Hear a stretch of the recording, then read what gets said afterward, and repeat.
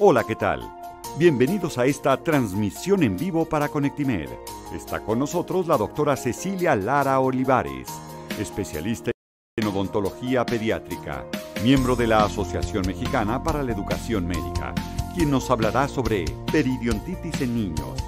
Y nuestra moderadora, la doctora Aymara García, médico general por la Universidad de Ciencias Médicas de Pinar del Río, Cuba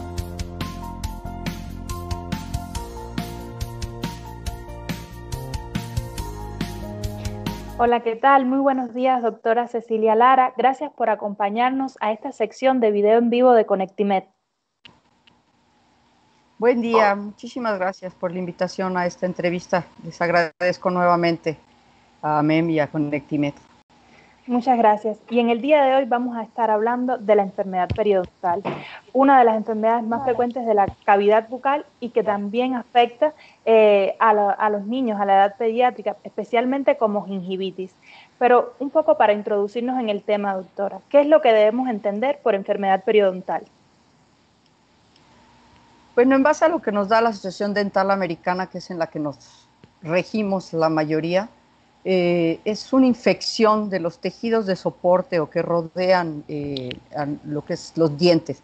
Entonces, al haber esa infección, vamos a tener eh, problemas tanto de, a nivel tejido óseo como tejido gingival, y eso nos va a hacer básicamente en adultos que haya una pérdida de dientes y de hueso. ¿Y cuáles son grandes rasgos ah, perdón. ¿Y cuáles son las enfermedades más frecuentes? Mira, mira eh, la, eh, la, enfermedad periodontal se divide en dos, como tú dijiste. Uno es la gingivitis y otra es la periodontitis. En cuanto a la gingivitis, tenemos varios tipos de gingivitis. Eh, esta nos va a dar desde una ligera inflamación hasta ya inflamaciones más complicadas.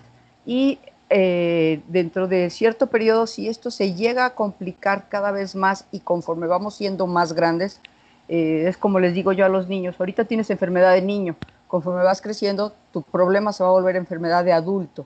Entonces, al hacer enfermedad de adulto, este, eso ya nos va a convertir en una periodontitis, que hay periodontitis ligeras, hay periodontitis crónicas y hay periodontitis agudas. Bueno, lo dije revuelto, pero este, básicamente es lo que tenemos en cuanto a enfermedades periodontales.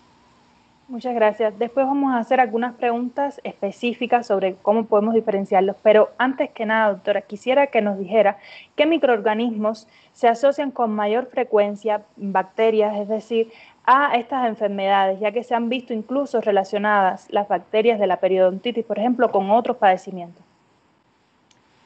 Bueno, eh, como te dije, dentro de esto tenemos diferentes eh, tipos de gingivitis y de esto va a depender el tipo de bacteria que tenemos, hablando en niños, ¿sí? Estas se van a ir complicando conforme vamos eh, teniendo la complicación de la enfermedad. Eh, dentro de las bacterias, pues normalmente se ha visto que son gram negativos lo que tenemos.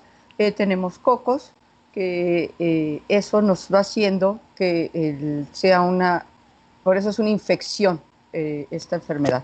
Entonces, básicamente son las, bueno, no, tengo los nombres en específico, pero son los actinomices, la división de actinomices, de los cocos, diferentes tipos de cocos, y, de las diferentes eh, bacterias gram negativas. Estas se ha visto que están perfectamente ordenadas y son las que nos dan eh, este, la lesión propiamente dicha. Y dependiendo, porque podemos tener una lesión muy leve hasta lesiones más complicadas que nos pueden dar alteraciones que yo supongo que lo vamos a ver un poquito más adelante, que nos pueden dar enfermedades sistémicas eh, más complicado dentro del, área. muchas gracias, doctora. ¿Y cuáles son los factores que con mayor frecuencia se asocian a este padecimiento? Factores de riesgo. Bueno, bueno tenemos los factores de riesgo. Eh, uno de los que se ha visto más importante, bueno, es el sexo. Se ha visto que eh, se da más en mujeres que en hombres esta enfermedad, pero también influye, eh, la flora bacteriana que tenga cada uno. Dependiendo de la flora bacteriana es el, factor que vamos a tener. Otro de los factores que tenemos de riesgo y que nos van dando dentro de, de las enfermedades que tenemos puede ser el nivel socioeconómico que tengan las personas. ¿Esto qué nos va a dar? Básicamente es higiene. Si no tenemos una buena higiene, si hay una gran placa eh, bacteriana, eso nos va a dar ese factor para que tengamos una enfermedad periodontal. Muchas gracias, doctora. ¿Y cuáles son los elementos clave que debemos considerar a la hora de realizar un examen periodontal? Bueno, bueno. Cuando el paciente nos llega, tenemos que tener en cuenta eh, primero eh, la inflamación gingival. En la hora que el paciente nos habla, nosotros normalmente es lo primero que vemos, ¿no? ¿Qué tipo de encía tiene? Eh, esas encías normalmente van a estar inflamadas, van a estar hinchadas. A la hora que realizamos una limpieza, si las tocamos, va a haber un pequeño sangrado o un gran sangrado, dependiendo de esto. El color puede ser rojizo brillante o puede ser un color oscuro o moderado o morado, perdón. Entonces, eso nos va a dar las pautas para saber en qué, estamos y qué tenemos en cuanto a, la enfermedad periodontal. Otra de las cosas es la sensibilidad al tacto. Si el paciente, eh, a la hora que nosotros eh, hacemos esa palpación o a la hora que hacemos una, una, pequeña limpieza y tenemos ese tipo de sangrado o ese tipo de sensibilidad, muchas veces el paciente se queja de eso o van por eso oye, es que siento que apenas me toco y me duele, no me duele nada, nada más eso es lo único que tengo. Sangran muy fácilmente, las mamás nos dicen, sobre todo, ¿sabes que Yo le ayudo a lavar y sangra, el cepillo queda manchado, esa es otra característica que, los pacientes nos, nos dan.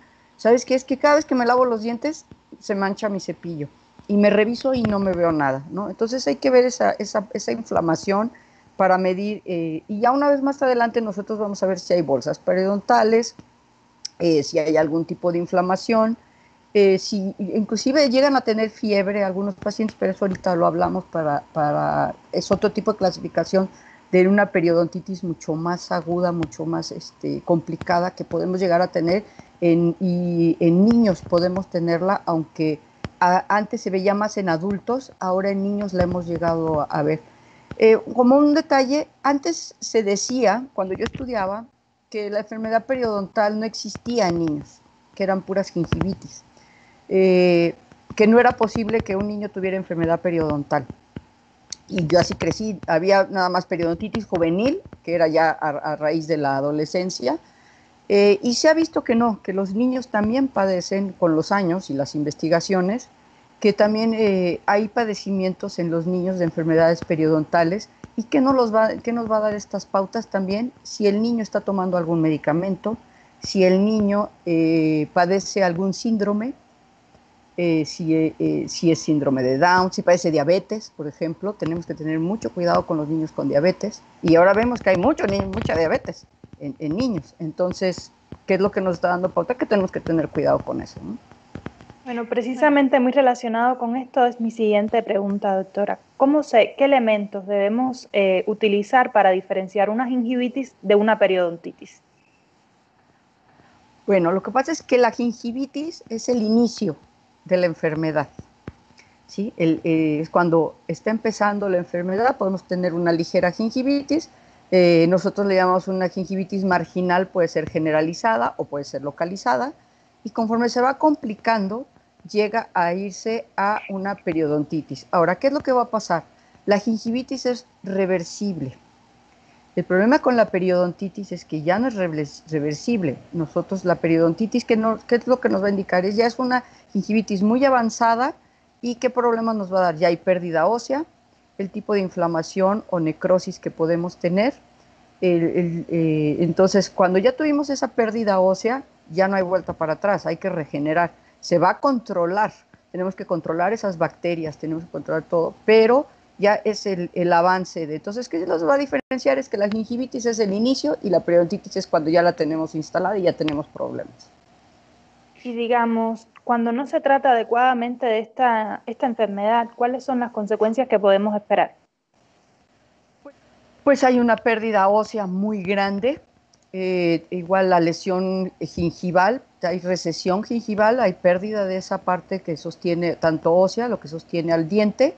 Entonces llega un momento, como yo les digo, llega un momento en que si tú lo permites que esto avance y no se controla, el paciente te puede llegar con el diente en la mano o con los dientes tan móviles que tú lo agarras y se cae. O sea, es tal el grado de pérdida ósea que llegan a tener y la inflamación se vuelve, eh, se pueden volver fibrosas ya esas encías y entonces ya el, tratamiento se vuelve ya quirúrgico, ya se vuelve más complicado. Esa pérdida ósea tiene que hacerse, volver a regenerar ese tejido óseo en algunas personas, pero aparte nos puede causar esas bacterias no solo a nivel bucal, sino nos puede generar que esas bacterias se nos vayan y podemos generar problemas, eh, eh, por ejemplo, una endocarditis bacteriana, eh, como un ejemplo, ¿no? Claro, muchas gracias, doctora. Usted anteriormente nos comentaba que se ha visto los casos de periodontitis asociados a síndromes de Down, a personas, a niños que están inmunocomprometidos. siempre debemos sospechar ante un niño con periodontitis que hay una enfermedad de estas sistémicas subyacentes depende el tipo. lo que pasa es que acuérdense que, bueno, tenemos que hacer, cuando nuestro paciente nos llega, pues hacemos una buena historia clínica. Debemos siempre de hacer una historia clínica previa a, o sea, no, nos sentamos al paciente y abre la boca y antes de hacer una historia clínica. Entonces, sí debemos siempre de hacer una buena historia clínica y entonces nosotros al detectar ese problema, si el, paciente, los papás normalmente en este caso, nos dicen que eh, el niño es diabético, pues nosotros es un foquito rojo que tenemos que tener en cuenta.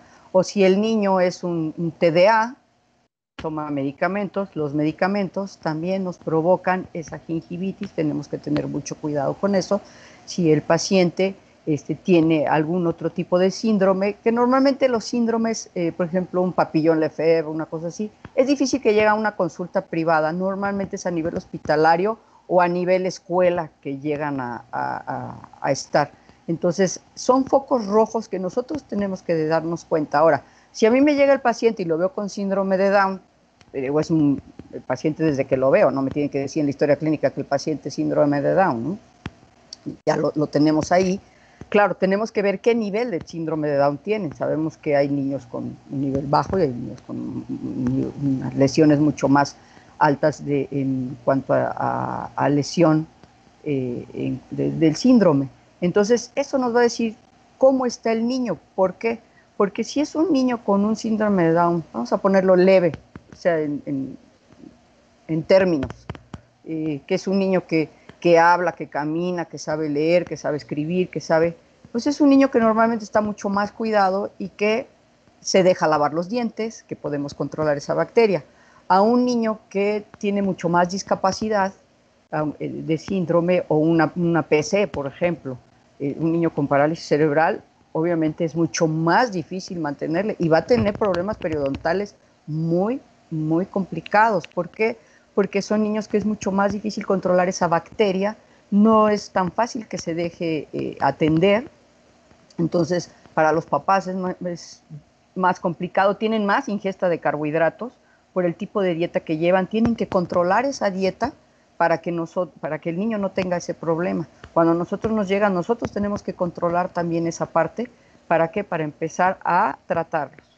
¿sí? Pero eso es lo que nos da, o sea, un buen diagnóstico nos va a dar, y claro, una buena auscultación nos va a dar eh, qué pasos o hacia dónde tenemos que seguir. Precisamente, doctora, y me llamaba mucho la atención que, que, no nos hubiese comentado. ¿Es la dieta importante eh, dentro de estas enfermedades bucales, al igual que en las caries? totalmente. Eh, la bacteria, bueno, una vez instalada, ah, eh, es mucho más complicado, no solo es la dieta, sino ya es la bacteria en sí que tenemos que tratar, pero básicamente es nuestra dieta. Ah, recuerden que, y creo que lo platicamos en la entrevista anterior, cuando hablamos de, los niños y los bebés y todo esto, que la caries es, que no es, no es caries lo que estamos hablando, pero vamos, eh, para que haya todos estos problemas tenemos que tener una alta ingesta de carbohidratos y de azúcares. La caries depende de, pero también el problema periodontal. ¿Por qué? Porque el carbohidrato se va a quedar adherido y va a formar ese biofilm dentro de eh, nuestra boca. Al tener esos carbohidratos dentro de boca, al tener ese biofilm lleno de bacteria, normalmente se nos va a quedar en los cuellos de los dientes. ¿Qué es lo que pasa? Eso se mete, pues porque está justo entre el cuello y la encía del diente. Entonces, eso nos va a dar que esa bacteria, si no la lavamos, si no la eliminamos, se va metiendo, se va metiendo, se va formando. Influye también nuestro pH salival. Tenemos, si tomamos muchos líquidos, si estamos deshidratados, si no estamos deshidratados, si el paciente toma anticonvulsivos, si toma este, eh, para hipertensión, todos los medicamentos nos van a también, necesitamos ver para qué, porque también eso nos va a causar problema junto con, con lo que es la dieta. Entonces, al tener esa placa y demás, se va metiendo adentro de, la encía y eso es lo que va haciendo que se vaya complicando de una gingivitis a una periodontitis. Y entonces va habiendo esa pérdida ósea. Pero sí, definitivamente influye al 100%. Muchas gracias, doctora. Y en el caso del tratamiento, específicamente sobre la antibioticoterapia, ¿cuáles son los antibióticos más recomendados para tratar estas infecciones? Mira, normalmente, eh, y se ha dicho que las tetraciclinas son, o se decía que era lo, de primera elección, pero, pero, sabemos que la tetraciclina no debe de ser nuestro antibiótico de primera elección. Entonces, actualmente utilizamos amoxicilina y se hace una combinación con metronidazol. Eso es lo que hacemos. Eh, esto en casos ya muy complicados. ¿eh?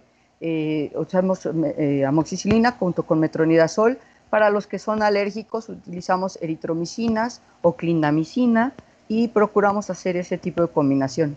Pero es nuestra última opción dependiendo, lo que yo te decía, es el, riesgo que tenemos. Porque hay, aunque es periodontitis y hay esa inflamación y demás, muchas veces el tratamiento es nada más con modificación de dieta, disminuir esos carbohidratos y demás, higiene, el, periodoncista, esto eh, lo ve el especialista, que es un periodoncista, y hacen raspados, curetajes, limpiezas, eh, se levantan normalmente colgajos de encía y hacen ese raspado eh, radicular y de hueso.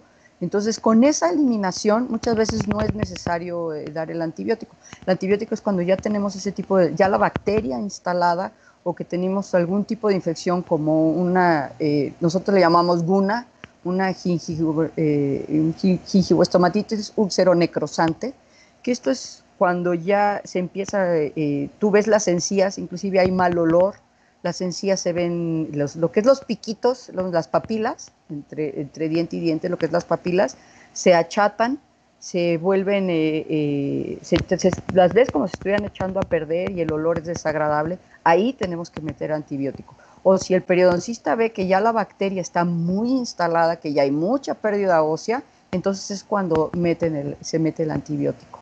Si no, siempre procuramos primero hacer todo lo necesario antes de llegar al antibiótico. Claro, como ir de menos, de menos a más y eh, salvando primeramente el tratamiento local. Así es. Y tenemos muchas cosas. Ya actualmente tenemos pastas, enjuagues, este, los mismos enjuagues en casa de, bicarbonato, de, hay quienes eh, combinan bicarbonato, hay quienes combinan eh, sal de grano eh, con, algún tipo de enjuague. Digo, esto lo, manejan los periodoncistas, pero hay muchas cosas antes, inclusive hay geles con antibiótico antes de llegar a la ingesta de, antibiótico. siempre, ya como todo, vamos de lo más sencillo a lo más complicado. Muchísimas gracias, doctora. Y de modo general, una última pregunta. ¿Cuáles son las medidas eh, que podemos adoptar tanto médicos como odontólogos en orden de prevenir la aparición de estas enfermedades? Bueno, primero, este, nuestra higiene. La higiene es muy, muy importante. Tenemos que, como es de todo, nuestra higiene, nuestro cepillado. Eh, si ya tenemos ese sangrado, como te digo, hay pastas para, dicen, eh, para prevenir esto y podernos ayudar a, quitar este tipo de lo que es la gingivitis, vamos a poner. La dieta, disminuir nuestra ingesta de carbohidratos es también muy importante para que no lo tengamos. Eh, perdón, hidratarnos, tomar los suficientes líquidos, ¿para qué? Para que produzcamos la suficiente saliva y tengamos esa autoclisis dentro de nuestra boca y eso nos va a ayudar también a disminuir esa parte. Pero básicamente lo que es higiene, la higiene es muy muy importante, la ingesta, eh, te digo, la ingesta de carbohidratos y eso nos va a ayudar a disminuir nuestra inflamación gingival. Como primera opción. ¿sí? Si es, no sé si por ahí va la pregunta como primera opción, eso es primordial. Claro que sí, doctora. Muchísimas gracias. Una pregunta en particular sobre este tema. Por ejemplo, en el caso de niños con necesidades especiales, eh, eh, los odontólogos también les pudieran dar como un asesoramiento a los padres de cómo eh, cuidar la higiene bucal de estos niños, ¿no?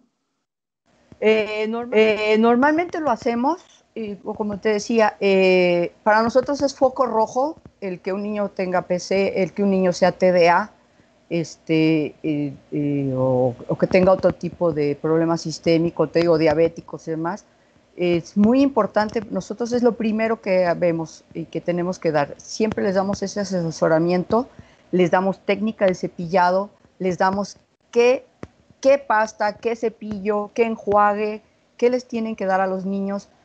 Tenemos que ver qué tanto medicamento están tomando para que nosotros podamos regular también, porque es muy notorio. Hay veces que lo tenemos muy controlado y cuando van a revisión otra vez tenemos esa inflamación. Entonces, ¿qué está pasando? Tenemos que preguntar si han aflojado, si está, ahorita con la pandemia, la ingesta de carbohidratos se ha aumentado muchísimo, el orden de alimentación es un desorden eh, actualmente, y más con, estos niños, porque los mismos cuidadores los tienen casi todo el día entretenidos comiendo y demás, porque no van a terapias, porque no los tienen este, ocupados, vamos a ponerlos así y el medicamento muchas veces los han aumentado. Al aumentar el medicamento automáticamente tenemos el problema de que hay aumento de, inflamación gingival.